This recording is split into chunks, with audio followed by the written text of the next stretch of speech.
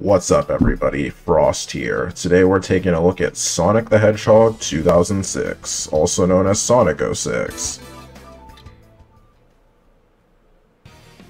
But this time we're doing the Project 06 version. So for those of you who don't know, Project 06 is a an improved version of Sonic 2006 made by Chaos X who is a very talented, very skilled developer. But essentially, this is an attempt to fix most of the issues that plagued the original Sonic 06 and made it next to an unplayable piece of garbage.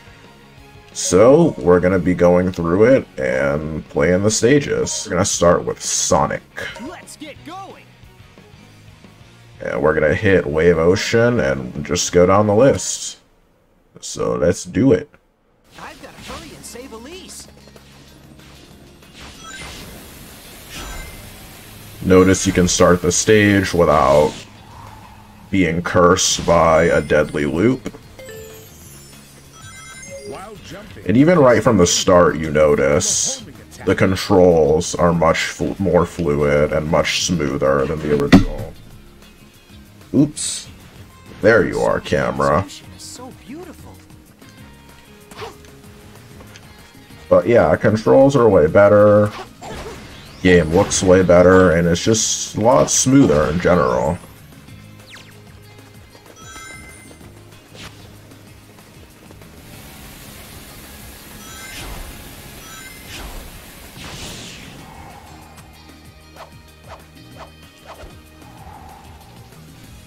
And it just makes you think about what Sonic 06 could have been. Because I personally think 06 could have been the best game in the entire series. Not just one of the best, but the best. But its potential, unfortunately, was never fully realized due to being rushed.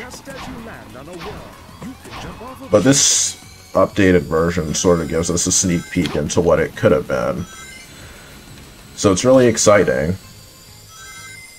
And it's really cool to play through. This is probably my fourth time playing through this now. And I still think it's a lot of fun each time. If I find the one issuing orders through him, I can defeat everyone at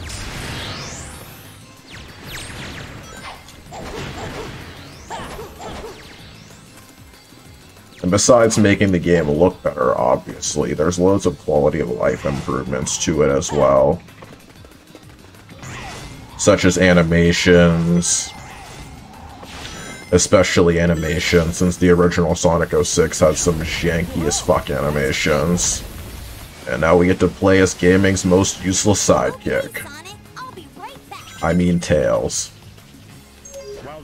And yeah, Tails' flight isn't complete garbage in this game, since he still gets tired, but he can fly more than 5 feet before getting tired. And also the gauge in the bottom right allows you to actually see when he's tired, so you aren't screwed where you'll just plummet into the abyss without knowing what the hell's going on. So that's nice and fruity. And his dummy ring bombs are nice, even though they make it impossible sometimes when you want to collect real rings. And off we go into the first Mach Speed section.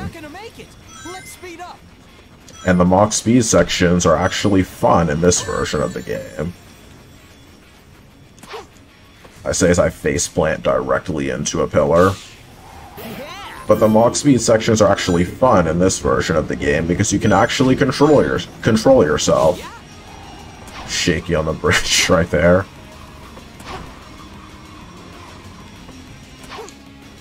But yeah, controls much better, plays much better, and is actually fun if you could believe it.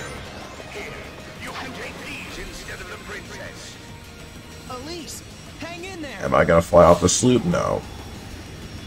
It actually is possible to fly off that loop and die if you hit it too far to the right. Let's see, did I get an S rank? B. Awesome. Our first carrying perpetual Eggman hostage, Elise. To get rid of anything that blocks your path. As usual, you have the aura that will save you from sinking into the sand on the spot. In the original 06, I think the carrying Elise stages were probably the worst. But here, I don't think they're that bad. They're not too long, and they don't handicap your moveset too much. So, I think they're pretty good overall. Not my favorite stages of all of them, but I think they're pretty good.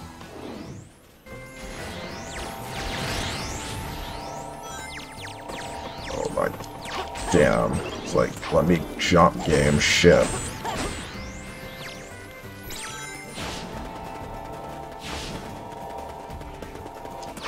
Oh, damn it. When it's lost both arms, that's my chance. It'll be off balance, so I can knock it down easily. Or just homing attack it to death, whichever comes first. These platforms, I still cheese. Because you can still stand on the lip of the platform itself.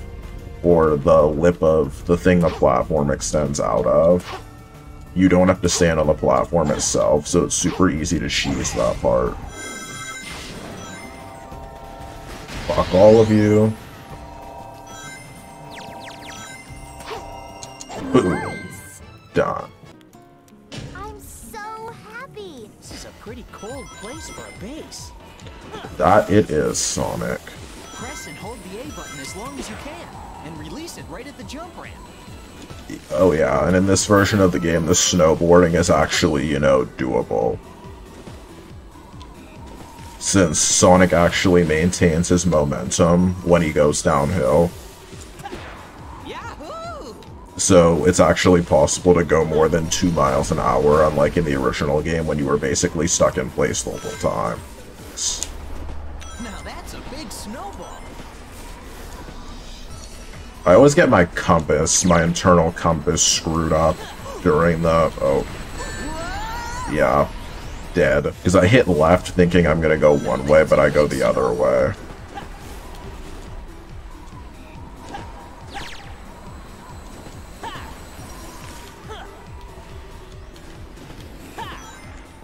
It's so trippy. Like, oh my god. I have no sense of direction. I'm sorry. I apologize. Boom. Okay, That jump is epic. Yeah.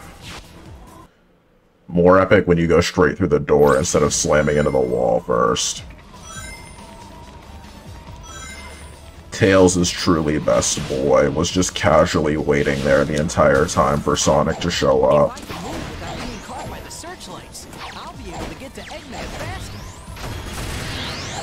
Classic, I can't do anything without you. Just leave it to me. Do I have a choice, Tails? But Tails isn't a pain in the ass to play in this version, so leaving it to him isn't really too awful.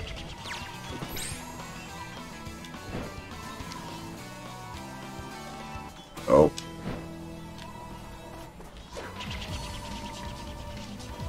I'm not sure if I needed to even take those specific ones out, but I did just in case.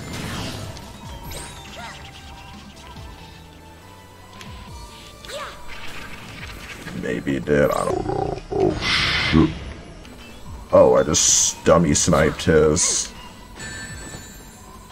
missile out of the air. That was nice. Yeah, wait, let me just grab the switch before I die.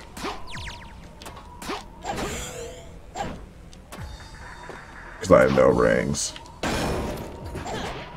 Give me those.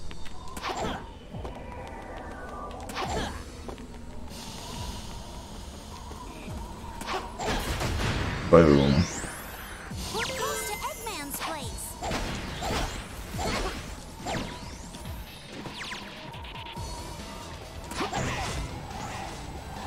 Think I haven't been seen by a single searchlight yet, so kudos nothing up here.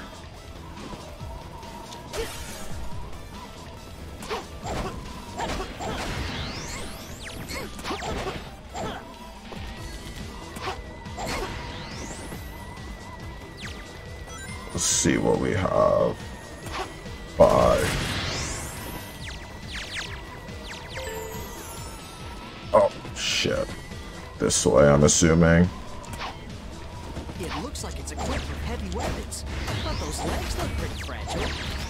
For as many times as I've played this, I really should know the routes, but I still forget them just as easily.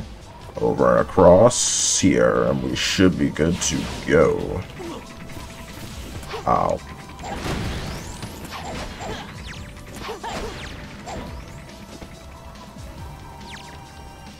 Bing.